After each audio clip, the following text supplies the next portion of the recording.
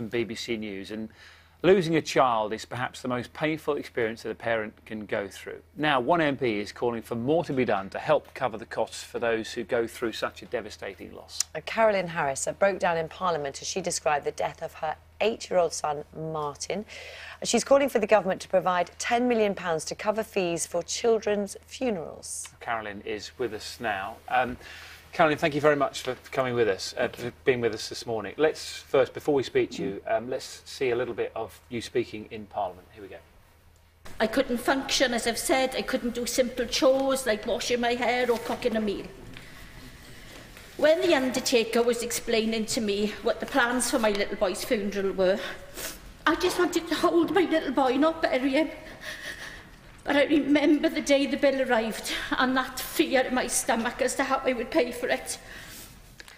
I know you didn't want to watch that.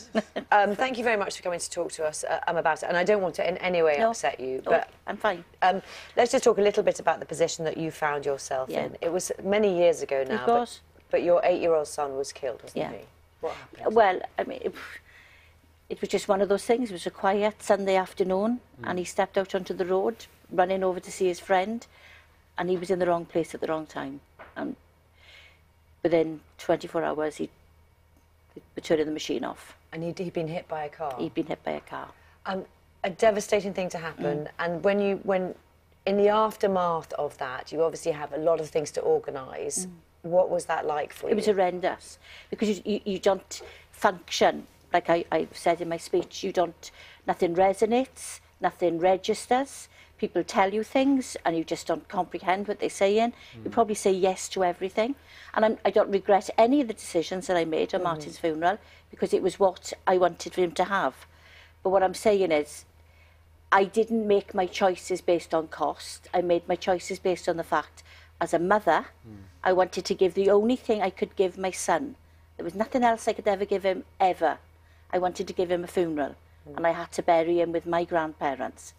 Now, looking back, if I'd gone for cremation, it would have been cheaper. Hmm. If you know, interestingly enough, if I'd buried Martin on his own, it would have been cheaper. So you're just saying it was it was an incredibly difficult decision, and you didn't feel prepared or you didn't feel No. able to make the, the right choice at that time. Well, no, I, it, it's not. It's not even the right choice, is it? It's the only choice I hmm. had was to do what, what I've done, and I don't think any parent should ever be in a position where they have to make the choices on their children's funeral based on cost.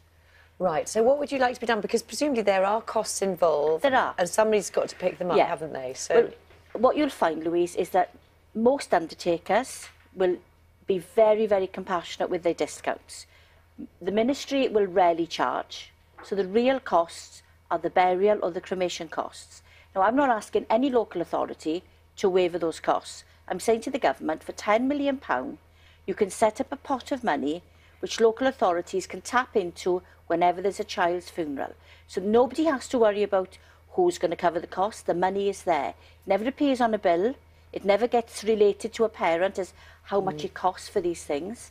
The money is there. There is no reason to put anybody through the distress of receiving a bill for something they can't afford. And I, I totally understand this is a you know, really emotional subject for you and for many others watching as well. But as, as Louise was saying, there are costs, and is it about priorities and, and how where that money needs to be spent? And like there will be bills about um, registrars, uh, about funerals, and, and all those things that need to be considered, and somebody has to pay for those. and that's why I'm asking the government for 10 million pound. It's a, such a small ask.